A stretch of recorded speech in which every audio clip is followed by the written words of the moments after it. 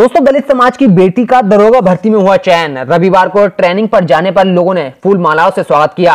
शाहबाद के मंगोली निवासी राजेंद्र सिंह की बेटी रूबी का दरोगा बनने से मंगोली नहीं, बल्कि उनके रिश्तेदारों में खुशी की लहर है। आपको बता दें कि राजेंद्र सिंह मंडी समिति शाहबाद में चौकीदार के पद पर कार्यरत हैं। उनके पाँच बच्चों में रूबी बीच की हैं। उनसे एक बड़ी बहन रजनी व एक बड़े भाई ब्रजमोहन है, तथा रूबी से एक छोटे भाई राजीव कुमार व एक छोटी बहन रश्मि है। पाँच भाई बहनों के बीच रूबी ने अपने कठिन परिश्रम से 2021 की एसआई की परीक्षा उत्तीर्ण की थी। जब उनके पास ट्रेनिंग का लेटर आया, तब परिवार में खुशी की लहर दौड़ पड़ी। लोगों ने खुशी में एक दूसरे को मिठाई खिलाई। रूबी को फूलों का हार पहनाकर उनका जोरदार स्वागत किया।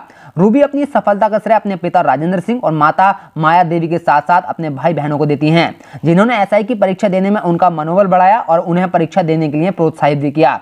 रविवार के दिन परिजन रूबी को मेरठ ट्रेनिंग के लिए अपने निजी वाहन से छोड़ने गए और उन्हें रहने, खाने, पीने की व्यवस्था कराई।